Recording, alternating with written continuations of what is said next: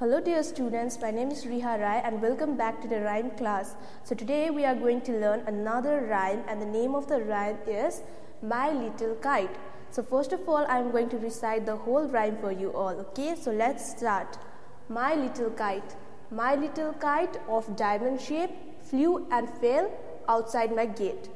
So let's do it with action. Okay, so let's start. My little kite. My little kite of diamond shape flew and fell outside the gate. Okay, now let us repeat once more, okay, with action. My little kite. My little kite of diamond shape flew and fell outside the gate. Okay, thank you. Bye.